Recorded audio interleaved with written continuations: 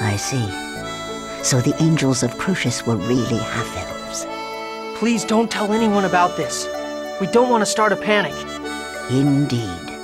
Especially now that the Tower of Salvation is gone.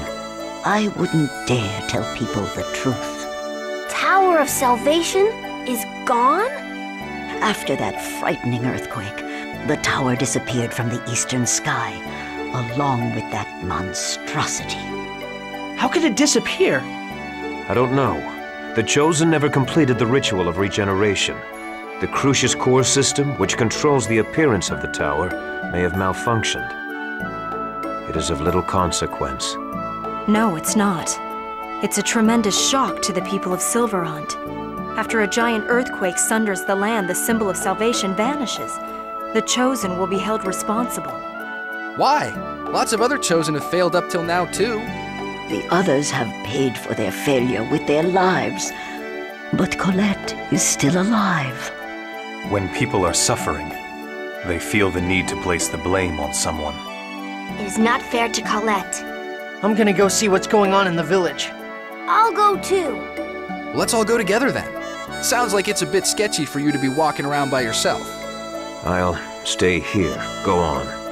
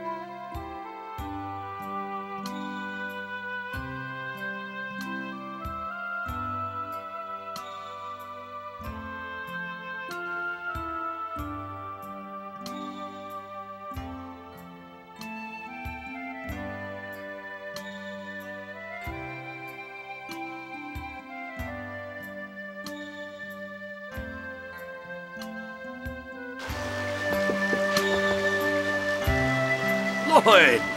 Dad, how have you been? Were you affected by the earthquake? This area is on top of hard bedrock. Everything is fine. Dirk, we are here by the request of Colette's family. They wish for you to help her.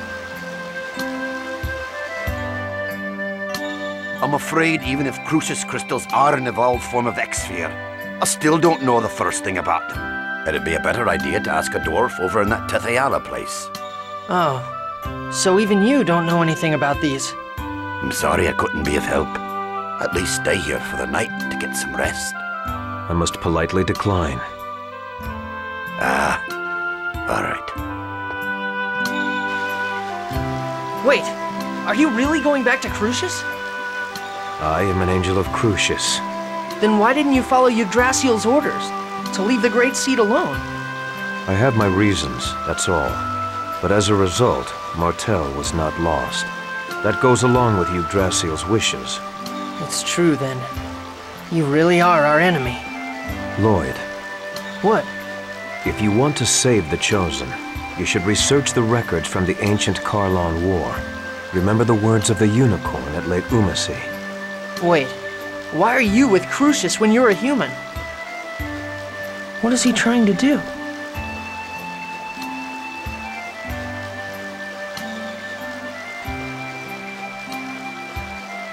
Hey, wasn't that Kratos just now? Sheena! Yeah, he returned to Cruxis. I see. So he really is our enemy. Yeah. But anyway, welcome back. Thanks. Thank goodness we stopped the giant tree.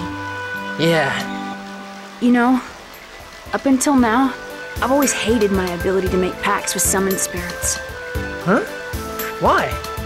Because I caused the death of countless people in my village due to my inexperience. Oh, And on top of that, I'm not even from Mizuho to begin with. what do you mean? I was abandoned as a child, just like Genis and Raine. Mizuho's chief found me by chance. Then I was sent off to the Summon Spirit Research Laboratory as proof of Mizuho's loyalty to the kingdom. They treated you like a bargaining chip. Well, don't get me wrong, I mean, I'm not upset about that. The chief took really good care of me. I wanted to become a full fledged summoner and make myself useful. For his sake as well. I see. But I ended up unleashing Volt and killed so many people, including Orochi and Kuchinawa's parents. And the chief fell into a coma. Even Corrine, the very first friend I ever had. Cheer up, Sheena. It was because you can use summoned spirits that we were able to stop the giant tree. Thanks. But everything happened because I made a pact with all the summoned spirits. That's the Renegade's fault. What? They told us stuff without really knowing what they were talking about, so it's their fault. Let's leave it at that. Wha- what? But the whole thing started when we jumped to conclusions and started forming pacts with summoned spirits. Well, yeah, but. Hmm. Well, I know. By doing what we thought was right, countless people in Sylvarant lost their lives. I can never forget that. And I know you feel responsible for that even more than I do. yeah. We bear the weight of countless people's sadness and anger, regrets, and unrealized dreams. I know. We can't give up until we've turned that into hope. Who knows? Maybe your power to use summoned spirits exists for that purpose. I like to think so.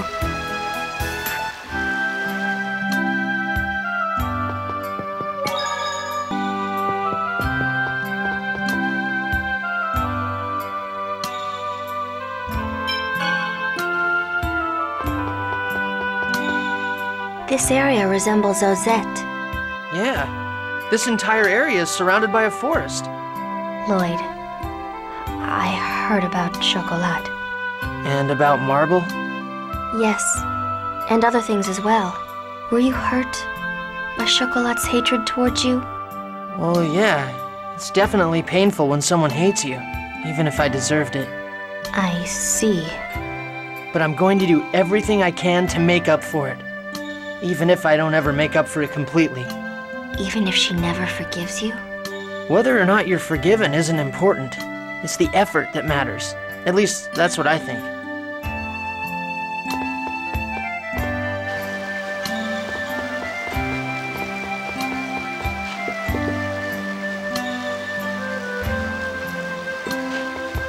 The problem is what to do now.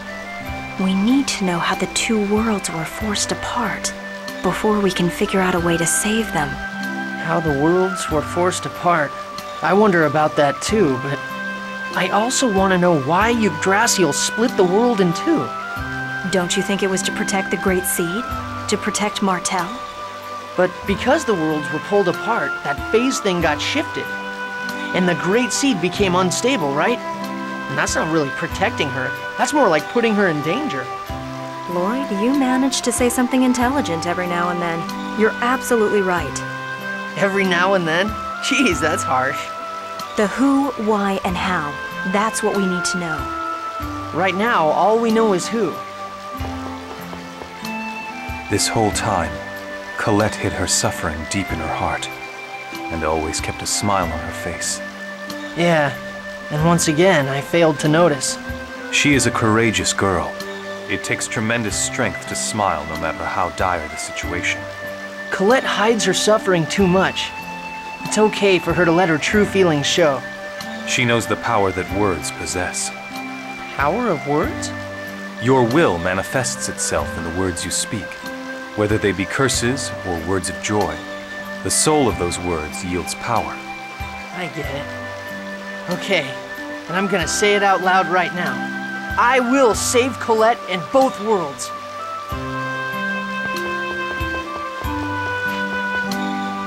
Bet you lived a crappy hard life so far, huh? Gee, you sure know how to cheer someone up, don't you? Well, don't worry about it too much. So now what? Aren't you at your wits' end right about now? Why do you say that? The giant tree, which we thought was all good, goes nuts. Our cute little Colette comes down with some funky cold. It's just human nature to start getting tired of it all. I'm never gonna give up. If I quit, I'll never be able to face all the people who've suffered because of what I've done. So I'm gonna fight to the very end. I can't give up. Hot headed and stubborn as hell. Well, but I guess that's what I dig about you.